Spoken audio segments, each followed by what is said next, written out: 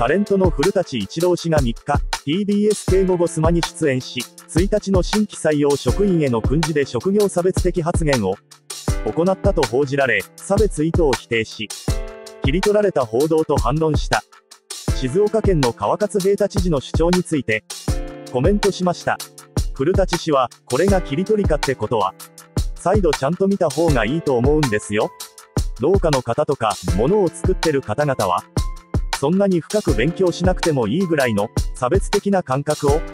エリート州漂う川勝さんは、持ってるのかっていうところなんですよ。それで見たら、客観的に見ようと努力したとしても、切り取りじゃないですよ。